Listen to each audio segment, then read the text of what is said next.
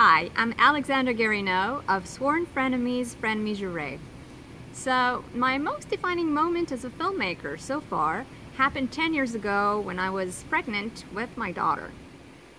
At the time, I was an actress and I'd been growing frustrated with waiting for the next job, the next audition, and having no control over what was going to happen. Sometimes you, you give a, a, good audition and you don't get the role and it's very frustrating. Um, and while I was pregnant, I was getting a lot of sleep and loving it. And with all that sleep, my brain relaxed and I started getting a lot of ideas for stories.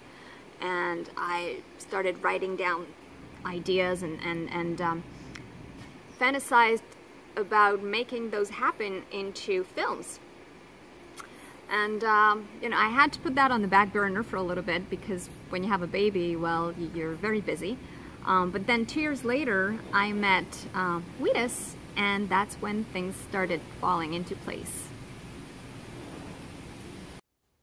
What defined me as a filmmaker was first probably what defined filmmaking to me. I was working on a film called Widescreen, and they'd done all of this set decoration in a particular room, and it was all set up, and it's just this elaborate, great looking set.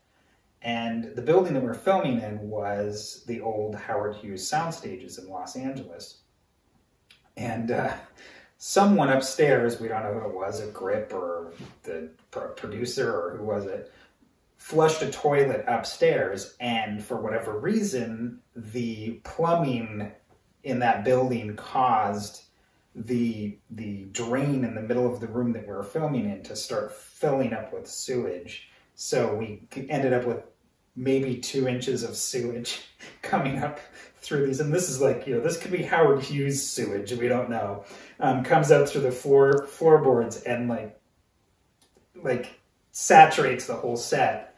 Um, so we ended up having to clean it out with buckets, and then they had to reset everything. And of course, we finally got to filming the scene, and when we did, of course, everyone in the crew was like complained about how bad it smelled, and it, it was it was horrible.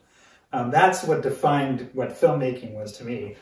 And then I think the moment that defines me as a filmmaker is the is I work on a project called the Scottish Play, and I write and direct that show. And in it, there's a coffee bathtub fantasy scene.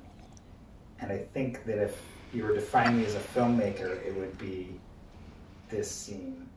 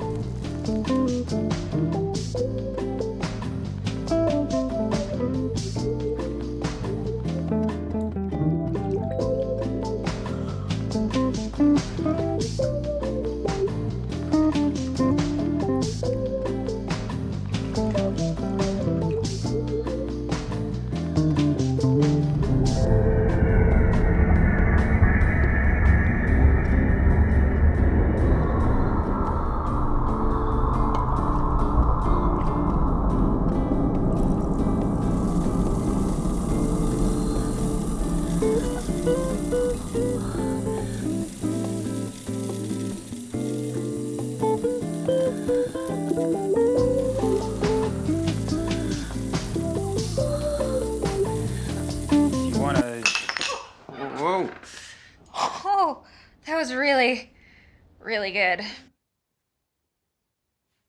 Hi, I'm Laura Linney.